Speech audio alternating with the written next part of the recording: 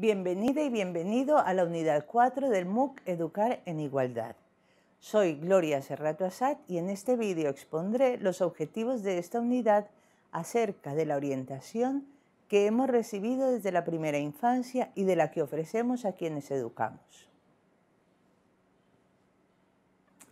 Cuando hablamos de orientación para el futuro, estamos incluyendo la vida personal, la convivencia y el trabajo estas dimensiones de cada vida están condicionadas por circunstancias que pueden o no favorecer la igualdad y que aunque afectan a todas las personas, no lo hacen de la misma manera a unas y a otros. Posiblemente hayas escuchado hablar de doble jornada, de brecha salarial, de techo de cristal o de corresponsabilidad. En esta unidad nos detendremos en estos conceptos para comprender de qué manera influyen en nuestras vidas.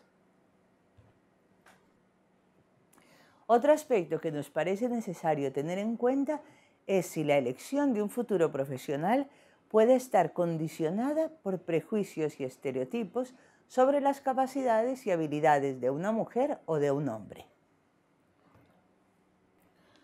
Te animamos a participar con reflexiones y aportaciones en las redes sociales que constituyen el lugar de intercambio de ideas y experiencias de este MOOC. Probablemente tu propia experiencia enriquezca el desarrollo de esta unidad y encuentres en el debate con quienes realizan este curso un estímulo para seguir participando y profundizando en las ideas clave expuestas en el vídeo correspondiente, Ánimo y buen trabajo.